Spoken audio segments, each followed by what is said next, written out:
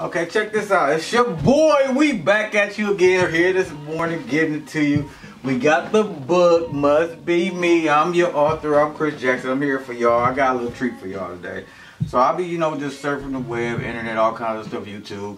And early in the mornings is, you know, that's my time, God and me. When we, I go walking, we talk, we converse, we have some most amazing conversations. So this morning, what he let me see was this, that um, when I'm walking down the street, he said, just pay attention to everything. So I start paying attention to everything. Like, he said, you got to be steadfast, unmovable, always abounding in his word. So the thing was, I was paying attention to the trees. And what I recognized is that I wasn't looking at the tree itself, not the stature. I wasn't looking at the leaves or the branches or anything. I was looking at the ground, at the roots. And what I was understanding is that fear won't let you get rooted. I want y'all to hear me when I say this again. Fear won't allow you to be rooted in something that's going to progress you, that's going to build you, that's going to grow you. See, when you plant a tree in the wrong place, if your roots are not going and they can't spread, they can't grow, the tree will never reach maturity. Have you ever noticed some trees don't get as big as others? You notice like trees in a park are way bigger than a lot of trees that you see on the street sometimes, right? Because their roots aren't able to spread like they want to. They aren't able to progress they aren't able to grow. So with that being said, fear is something that's going to keep you from growing. I hope y'all hear me. I want y'all to say this one more time with me. Fear will keep you from growing. Do not let that stop your roots from being planted and rooted and growing because they can only spread out.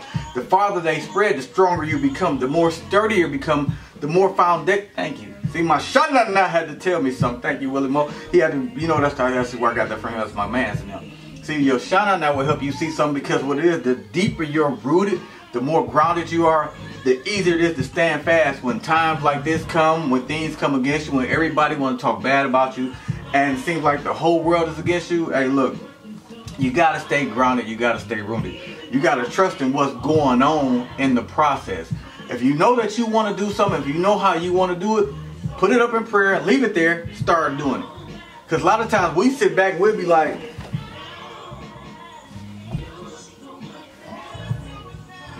God ain't said nothing yet. It's all quiet. Ain't nobody said the thing is, sometimes he like, he said faith without works is dead. So if you believe him for it, why aren't you working on accomplishing? Like with me, like with this book, this book for y'all information, this book here was written back in 2014. I stagnated for four years before I even attempted to even just get the book edited. Once I got it edited and realized he started opening doors for me for with my my uh, my Olivia Pope. That's my niece. I call her my Olivia Pope. Shout out to Meecho's World, Meecho the Don. That's my photography man who do videography, who edits everything out. You know, that's my team that God blessed me with. But the thing is, he put people in place to be a blessing to me because I finally started moving into the gift I have. Like me speaking this here in this camera because I'm understanding things, not because I'm greater, because I'm knowledgeable, because I'm smart, but because he's allowed me to see so many different things in my life. He's allowed me to endure so many things in my life. I've been on top, I've been on the bottom. Right now, it's not about being in the middle, it's about being where I need to be. Right now, I'm in front of this camera, not just because of me, but for you. See, a lot of times when I'm talking to y'all and I'm talking about fear, I have to think about the fears that I've overcame. I think about the positions that I was allowed myself to be in that put me where I would have been fearful, where I would have been hurt, or something could have hindered me. So I'm telling you, you got to really pay attention to what's going on in your life. Right now, don't look at this little money that they want to give you. Look at what you're going to do that'll be greater than that because it says seek ye first the kingdom of God. So if you're going after God first, what can't you have? And this is what my shot not told me earlier too while I was on the walk this morning. He said there's a whole lot of people living, but there's a whole lot of people existing. Now let's know the difference. Living for you may be you taking care of your family, enjoying your kids, and not about extravagant trips, it's not about having the most luxurious items or things or precious jewels. It's about being able to spend time with them, about instilling wisdom and knowledge in them, about imputing into them things that are going to be worthwhile. They're going to make them better adults, make them better people, so they can go out about life they want to. Don't get it twisted.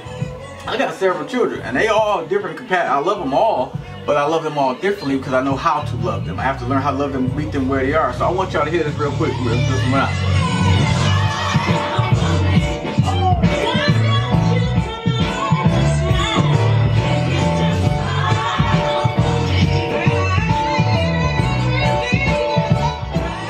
no matter what's going on, no matter what be happening, What he has taught me is that I gotta smile anyway. During the storm, during the rain. See, the thing about it, we get in the storm and we get scared. My thing is when it started raining, I just gear up.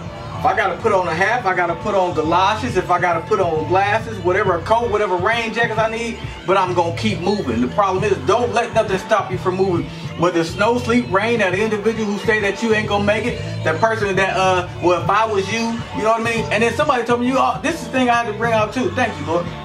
People will tell you sometimes you gotta watch out for the people who want to help you with your ideas. But if you gotta watch out for the person who wants to help you with your ideas, then why are you allowing them in your life? Everything is for a reason. This time right now, for us to get closer to God, become whom He wants us to be, become the people He will for us to be, you gotta smile even during the storm because it takes way less muscle to smile than it does to frown. A frown is something that's been bringing down and bring all different muscles and, and, and nerves in, in your face to bring it down and make you look mad. But when you smile, it's such a simple thing to do, and we don't want to do it. And the crazy part is, it's so easy to do then we need to do it on a regular basis, man. So I want y'all to get up this morning. I want y'all to smile. I want y'all to believe in yourself. Whatever idea you have, implement it. Whatever thought you have, start acting on it. Start moving. So, okay, God, I'm giving it to you. I'm believing it. But I'm going to move. I ain't going to sit here. I ain't going to be lazy all day. I'm going to do something with myself. Do something with yourself. I'm telling y'all, just quit being so passive, man. Sometimes we can sit back and just be so mundane and wonder what's why we ain't went nowhere. Because you ain't got off the boat. You remember we talked about Peter, we talked about them 11 sitting there? Don't be them 11. Be Peter. Just real life. I'm just being Andy. It, it was 12 of them. They fishermen. They all been in the same storm before. They know this is part of their livelihood. They knew what it was like. But he was the only one actually willing to get out the boat. Take a risk sometimes. Don't take the illegal risk and go to prison do things. But like, I, I understand all that. I've been there. It ain't, it ain't the Lord's work. You don't want to be there. It's not his. It's not his. I rebuke that. Okay, y'all, I'm back. Listen, go ahead, take that risk and do what you need to do for you. But till again, hey, it must be me. What? It must be me. This for you must be me. Again, this is to help you, help you. Much love. Peace.